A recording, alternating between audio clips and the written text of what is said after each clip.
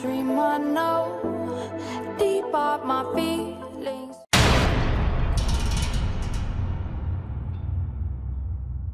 Yo, what's up, guys? This a Ochoochogift. Um, welcome to another tips and trick on Call of Duty Mobile.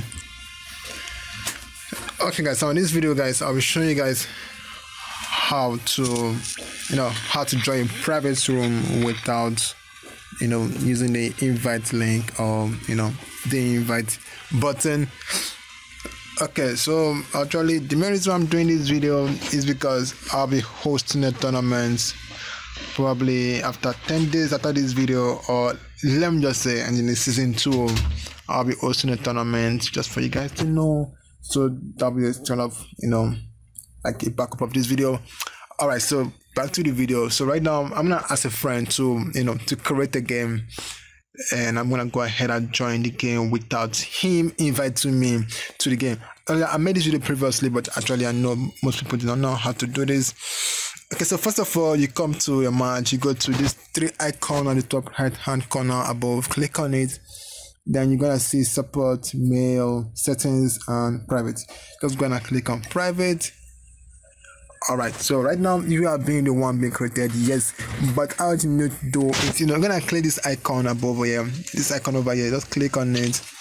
They're gonna see private room id then you're gonna just you know you ask this person to just send you the room id so just go ahead and you know write down the room id so with this stuff you can play with anyone that's not on your friend list but at first you need to know the room id even if you are trying to join the room okay. It's six seven zero three. All right so just go ahead and search. All right so click on start you know i'm saying waiting.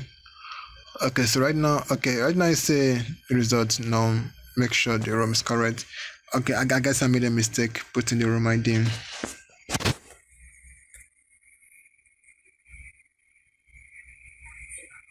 Oh okay i guess it's not two this is five okay now it's shared you know public okay this right now i found a room called you know public match front line random this is the map just go and click on you know join. So right now i join this match without him inviting me which is something kind of fun in a way. So i, I don't need to be invited even if i want to do anything. So right now I can just go ahead and switch wherever I want to. By click on the console and you know switch. Alright guys, this is actually how to do it. You know, you join a room ID without you know being invited. So the reason I'm doing this video because I'm gonna host a tournament 10 days or a day, five days after the season two is out.